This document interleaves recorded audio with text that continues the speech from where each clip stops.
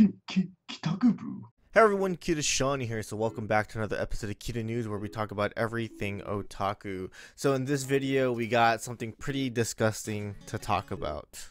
Tanaka Hidekazu is an accomplished composer when it comes to the video game and anime world. He has composed music for anime such as Aikatsu, Danmachi, Nyaruko, and his most notable work is The Idolmaster. Last Wednesday, the composer admitted to obscenity charges at the Tokyo District Court. In August 2022, Tanaka attempted to commit obscenity toward a 15 year old girl at a train station bicycle parking area by forcibly grabbing her hand and offering to pay her money so that he can do vulgar things to her.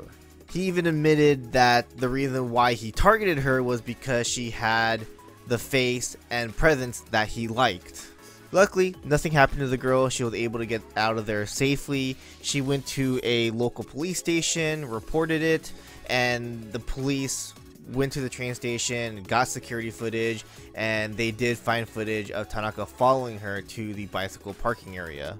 Tanaka even admitted that he has done this dozens of times in the past 10 years. He's been accused of taking pictures of women's skirts from September to October 2022 and even exposed his lower body parts on the train. To him, this was a way to relieve anger and work stress. It was thrilling to him, basically. On October 24th, 2022, Tanaka was officially arrested for sexual assault. It's very unfortunate to see someone so accomplished like Tanaka commit crimes like this. As you guys know, Japan is notorious for long working hours, which causes a lot of stress. There have been reports of office workers dying from overworking, uh, suicides, and as much as these things are depressing, we're not talking about that. We're actually talking about a man who is using workplace stress to commit crimes, sexual assault. And workplace stress did not force Tanaka to do these things. He literally again did this on his own terms and it's horrible, plain and simple. It's it's just disgusting. Like there there's literally no excuse for this dude. Like again, just because you're stressed out doesn't mean you can go towards girls and be like, "Hey, I'll pay you money." And let me do these things to you. That's no. You that that is the lowest thing you can do.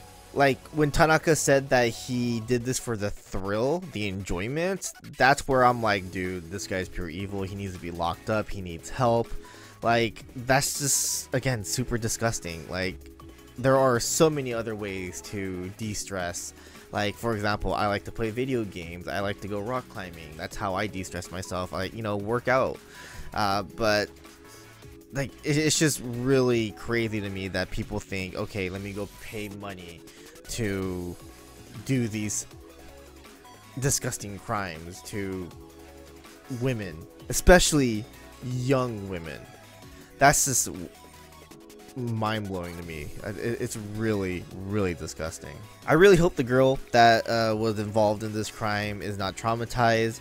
Uh, if she needs help or anything like that, I really hope she does get that help, uh, as well as uh, the past victims as well. So yeah, there you have it. Um, just wanted to talk about this because again, Tanaka is a very accomplished composer in the anime and video game world. Again, like the Idolmaster, like he is very well known for creating so many hit songs from that series. And like I actually listened to a lot of his songs that he composed for the Idolmaster.